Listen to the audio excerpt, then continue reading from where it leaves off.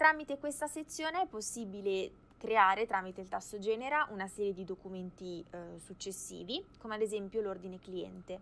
Per fare ciò possiamo in maniera estremamente semplice trascinare gli articoli che ci interessano all'interno del carrello e eh, appunto tramite il tasto genera creare l'ordine di riferimento.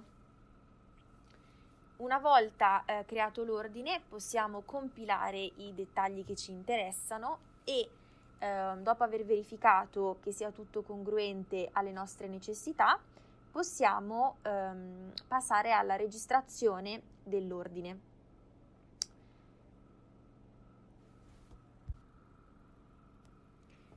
A questo punto, dopo aver creato l'ordine, possiamo creare la fattura collegata tramite il tasto Crea sulla base di che ci permette molto comodamente di avere il documento successivo senza dover inserire nuovamente tutti i dati.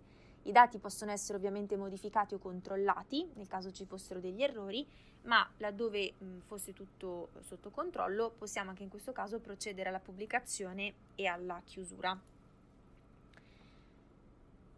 Da questa schermata che ehm, vi si aprirà possiamo passare direttamente al pagamento, quindi tramite ricevuta bancaria possiamo iniziare il processo di pagamento della merce e eh, come vedete in questo caso sono già stati inseriti anche i dati relativi al conto corrente.